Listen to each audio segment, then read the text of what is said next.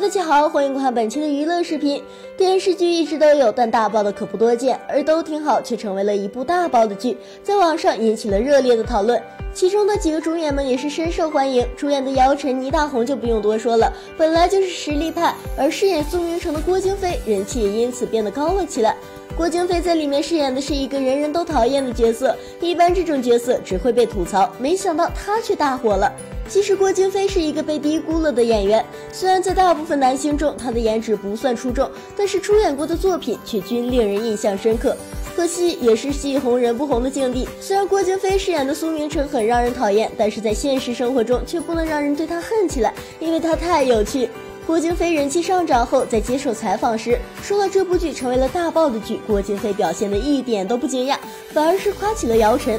他表示这部剧如果不是爆剧，那姚晨能接吗？调侃的语气，但是却又夸到了姚晨，这大概就是说话的艺术了。而郭京飞在说到如何诠释这个角色的时候，他也有自己的一番见解。为了让这个角色稍微讨人喜欢一点，他也自主的加了很多台词。